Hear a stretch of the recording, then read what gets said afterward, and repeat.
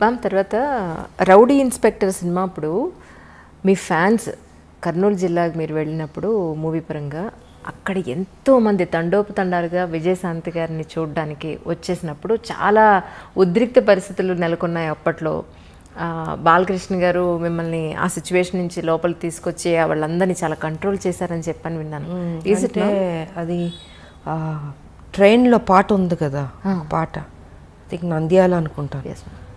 చేస్తుంటే క్రౌడ్ విపరీతంగా వచ్చేసి అసలు ట్రైన్ ఆపేశారు. నాకు ఆ రోజు కొంత ఫీవర్ వచ్చిందంటే డైలో మొత్తం పాట చేస్తూ విపరీతమైన ఎండ.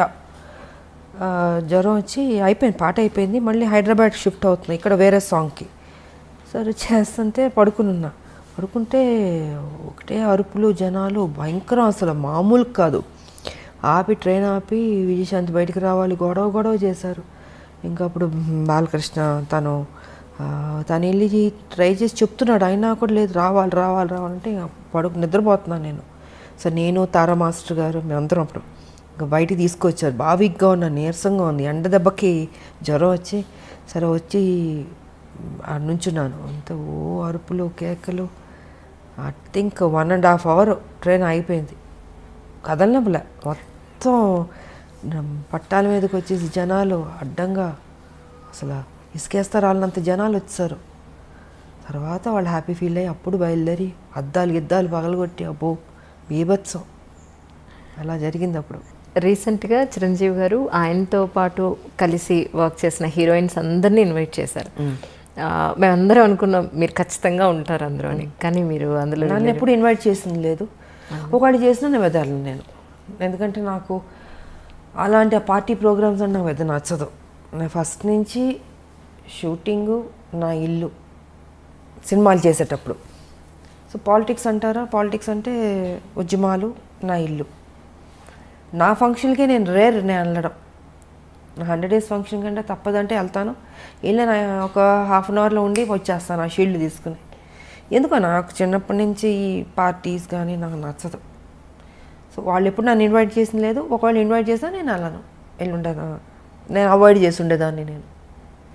తెలుగులో మిమ్మల్ని మొట్టమొదటిసారిగా ఇంట్రడ్యూస్ చేసింది విజయ నిర్మల గారు అని అనుకోవచ్చా అండి? కానీ విజయ నిర్మల గారు అప్పుడు కాలం చేసినప్పుడు కూడా మీరు చాలా వచ్చి నరేష్ గారు వాళ్ళ ఇంటికి వచ్చి చేసినప్పుడు జరిగింది.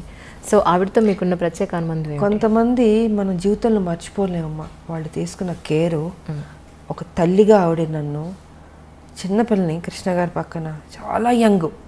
ఐ థింక్ uh, డెబ్బై తొమ్మిదిలోనే వచ్చాను. ఎయిటీస్ అనుకుంటా సినిమా. ఫస్ట్ తమిళ్ ఎయిటీస్లో. అంటే చిన్నపిల్ల కృష్ణ గారు అనేవారు. విజయ మరీ చిన్నపిల్లగా ఉంది నా పక్కన యాక్ట్ చేస్తుంది. ఎలాగ బాగుంది నా కూతురులా ఉంది అనేవారు. మీరు ఊరుకోండి నేను చూసుకుంటాను కానీ అంత కేర్ తీసుకున్నాడు నిజంగా. అలాగా నాకు దాని మీద నమ్మకం ఉంది. తను పెద్ద స్టార్ అవుతుందని ఆవిడ కూడా. అంత కేర్ తీసుకుందమ్మా. అందుకే ఆవిడ పోయినప్పుడు కూడా నాకు బాధ వేసింది. కొంతమంది నేను మన- మనం మర్చిపోలేం. ఆవిడ కానీ అంకుల్ దాసర్ గారు కానీ టి కృష్ణ గారు కానీ నా జీవితంలో నా లైఫ్ మారింది వాళ్ళ వల్ల. ఎలా మర్చిపోతాం చెప్పండి? సో నా ఫస్ట్ ఫిలిం భారతిరాజా గారు. ఇలాగా కొన్ని మర్చిపోలేం. ఇంక మిగతా డైరెక్టర్స్ అంటారు ఎస్ అఫ్ కోర్స్ నాకు మంచి సినిమా పాత్రలు ఇచ్చారు. విశ్వనాథ్ గారు జంధ్యాల్ గారు.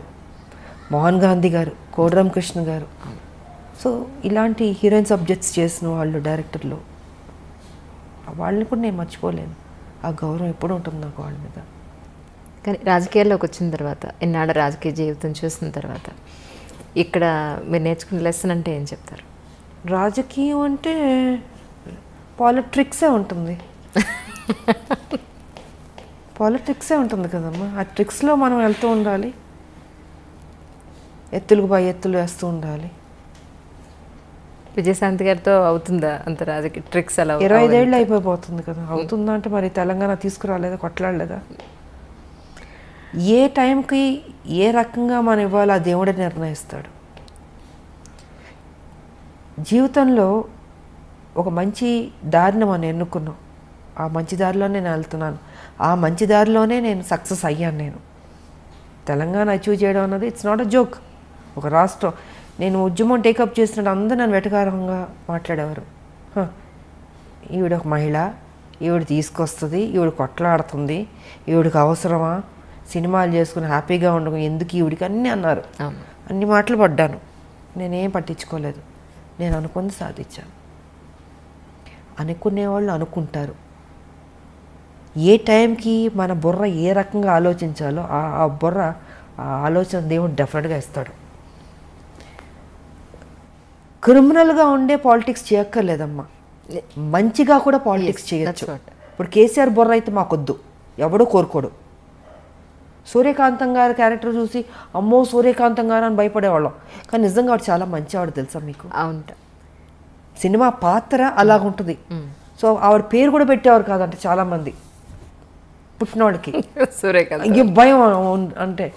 బట్ ఆవిడ అంత బంగారం అసలు.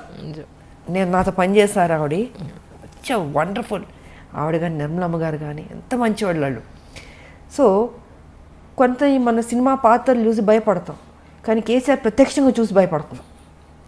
అంటే అంత భయంకరమైన క్యారెక్టర్ కాబట్టి. ఆయనలా వద్దమ్మ. ఇలాంటి పాలిటిక్స్ చేయక్కర్లేదు. చక్కటి చక్కగా పాలిటిక్స్ చేయొచ్చు. మనం అనుకున్నది ఇంకా బెటర్గా చేయొచ్చు. ప్రజలకు ఉపయోగపడేటట్టు చేయొచ్చు. అదే మ్యామ్ నా ఉద్దేశం కూడా అంటే హండ్రెడ్ పర్సెంట్ చేయొచ్చు. నేను ఎంతకాలం మరి మంచిగా అనుకునేది చేశాను? ఫ్యూచర్లో కూడా అదే మంచిగా చేస్తాను నేను. తెలంగాణకు సంబంధించి ఇన్ కేస్ కమింగ్ ఫ్యూచర్లో మీరు కూడా వన్ ఆఫ్ ది అధికార పార్టీ బీజేపీ కనుక అధికారంలోకి వస్తే మీరేం మీ ఉద్దేశ ప్రకారం తెలంగాణకి ఏమేం చేస్తే బాగుంటుందని మీరు అనుకుంటున్నారు? నా Telangana. I love Telangana. Develop అవ్వాలి. చాలా ఉన్నాయి సమస్యలు. ఇంతకుముందు తక్కువ ఉంది ఇప్పుడు ఎక్కువ ఉంది ఇప్పుడు. రోజు రోజుకి ప్రజలు కష్టాల్లోకి వెళ్ళిపోతున్నారు. బెటర్మెంట్ లేదు లైఫ్ సో దీన్ని బెటర్మెంట్ చేయాలంటే ఒక నేషనల్ పార్టీ వల్లే అవుతుంది. అది వాళ్ళ బీజేపీకి సాధ్యం అవుతుంది. మోడీ గారు ఇంకా మంచి మంచి పనులు చేస్తున్నారు కాబట్టి. సో మేమందరం డెఫినెట్గా వెళ్ళి మోడీ గారితో చెప్తాం. మాకు ఇది కావాలని మేము అడిగి తీసుకుంటాం మేము. మా తెలంగాణకి ఇస్తారు ఆయన. ఇప్పుడు మొత్తం భారతదేశానికే వ్యాక్సిన్లే ఫ్రీగా ఇస్తున్నారు? రైస్ ఫ్రీగా ఇస్తున్నారు. ఎన్నో మంచి కార్యక్రమాలు చేస్తున్నారు. బేటీ పడావో బేటీ బచావో. ఇలాగ ఎన్ని ఒకటి కాదు రెండు కాదు చాలా ఉన్నాయి మహిళలకు కూడా. గర్భిణీ స్త్రీలకు కూడా. వాళ్ళ ప్రెగ్నెంట్గా ఉన్నప్పుడు ఒక ఖర్చు ఎంత భరిస్తుంది? ప్రెగ్నె డెలివరీ అయిన తర్వాత తల్లి బిడ్డలకి వాళ్ళకి పౌష్టికాహారం కావచ్చు మెడిసిన్స్ కావచ్చు వాళ్ళకి ఏం కావాలో ఆ సదుపాయాలన్నీ ఇస్తుంది. సో చాలా చేస్తుంది బీజేపీ వాళ్ళ ఎందుకు చేతి మా బై- తెలంగాణకి డెఫినెట్గా చేస్తుంది. మేము అడిగి తెచ్చుకుంటాం మేము. మోడీ గారు మాకు ఇది కావాలి. రేపు దేవుడి దయ వల్ల బీజేపీ తెలంగాణలో వచ్చిందనుకోండి నిజంగా ప్రజల కష్టాలు తీరినట్టే అని నేను అనుకుంటున్నాను నేను. ఎందుకంటే మేము ఊరుకోం. మేము కొట్లాడైనా తెచ్చుకుంటాం. బట్ కొట్లాడాల్సిన అవసరం కూడా లేదు. డెఫినెట్గా ఈ సమస్య ఉందంటే మోడీ గారు డెఫినెట్గా చేస్తారు. ఆయన ఇచ్చారు. స్మార్ట్ సిటీ అని వరంగల్కి ఇస్తే చేజార్చుకున్నాడు ఈయన కేసీఆర్. ఉపయోగించుకోలే. ఎయిర్పోర్ట్లో ఇస్తే అక్కడ మామనూరులో వరంగల్లో ఇంతకుముందు ఉండేది. దానికి ల్యాండ్ ఇవ్వండి ఎయిర్పోర్ట్ ఇస్తానంటే అది కూడా చేయలే. అంటే ఎంత కేర్లెస్. సో ఇలాంటి వాళ్ళకి వద్దు మాకు మా బీజేపీ వస్తే డెఫినెట్గా మంచి జరుగుతుంది. హండ్రెడ్ పర్సెంట్ డెవలప్ అవుతుంది అన్నది నా నమ్మకం. ఇటు రాజకీయ పరంగా కానీ సినిమా రంగం రంగం పరంగా కానీ ఇంకా ఇప్పుడు ఒక పాట కూడా పాడినట్టున్నారు మీరు ఒక సినిమాలో కదా? భారతరత్న. భారతరత్న. ఒక పాటకు మీ గొంతును కూడా వినిపించడం జరిగింది. ఉదిత్ నారాయణ గారు నేను పాడా. నిజంగా అసలు తర్వాత అనిపించిందా మీకు? ఇంకొక పాట ఎప్పుడైనా పాడే అవకాశం దొరికితే బాగుండని ఎప్పుడైనా అనిపించింది? ఎందుకు ఆ రోజు కోటరామకృష్ణ గారు అమ్మ ఇది పాడితే బాగుంటుందని చెప్తే ఇంకా ఆలోచన నాకు ఎప్పుడు లేదు. ఇంకా ఆయన అడిగారు కాబట్టి ఆయన దగ్గరుండి తీసుకెళ్ళి పాడిచ్చారు. బాగానే పాడారు. చాలా బాగా మంచి హిట్ అయింది మ్యామ్ అది సాంగ్ బాగానే పాడినట్టు. సంగీతం నేర్చుకున్నారు మ్యామ్ చిన్నప్పుడు కొంచెం నేర్చుకున్నాను నేను. అవునా. కొంచెం నేర్చుకున్నాను. నాకు ఇష్టం పాటలు పాడడం నాకు ఇష్టం ఇప్పుడు ఆ రోజు పాడాను నేను.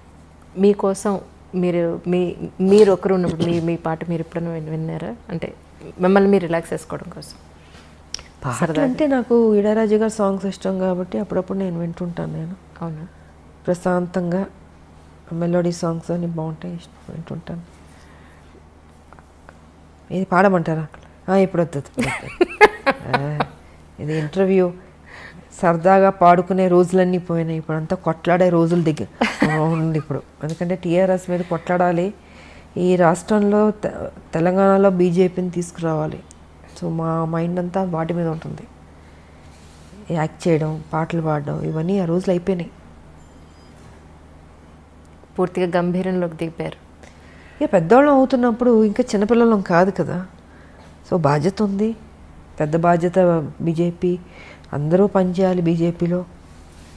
సో అండ్ తెలంగాణ ఎలా తీసుకొచ్చాం ఎంత కష్టపడ్డాం అందరూ ఎంత సాక్రిఫైస్ చేస్తారో ఇవాళ తెలంగాణలో బీజేపీ తేడం కూడా తేడానికి అందరూ కష్టపడాలి ఇది. సో మా సంజయ్ గారు కానీ నేను కానీ ఇప్పుడు ఈటల రాజేంద్ర గారు అరవింద్ గారు ఇలాగ అందరూ ఉన్నారు. మ్యాక్సిమం బాగా కొట్లాడే వాళ్ళు ఉన్నాం మేము. యుద్ధం చేయడానికి సిద్ధంగా ఉన్నాం. ఇప్పుడే కేసీఆర్ గారు కూడా అన్నారు కదా బీజేపీ మీద యుద్ధానికి రెడీ అన్నాడు కదా సో మేము వెయిటింగ్లో ఉన్నాం. ఎప్పుడు వస్తాడా? కత్తులు కటారాలు కూడా తీసుకురాడు ఆయన. మేమే ఇద్దాం అనుకుంటున్నాం ఆయనకి. ఎందుకంటే ఆయన పాపం అంటాడు కానీ రాడు. ఆయన సంగతి నాకు బాగా తెలుసు కదా. సో వస్తారా రాలా? లేకపోతే ఆయనే గుంజుకొచ్చి వార్ ఫీల్డ్లో పెట్టి కత్తులు కటారా నేనే కొని ఇచ్చి చేస్తా అన్నారు కదా మా బీజేపీతో. రండి రెడీ అని చెప్దాం అనుకుంటున్నాను.